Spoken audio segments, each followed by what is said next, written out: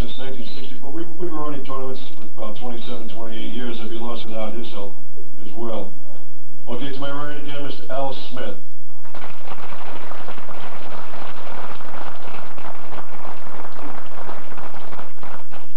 As I mentioned before, another legend, Mr.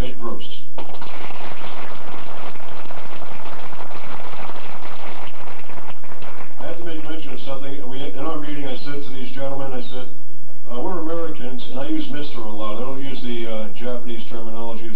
Shihan, this, that. We all know who everybody is, and we carry respect for them.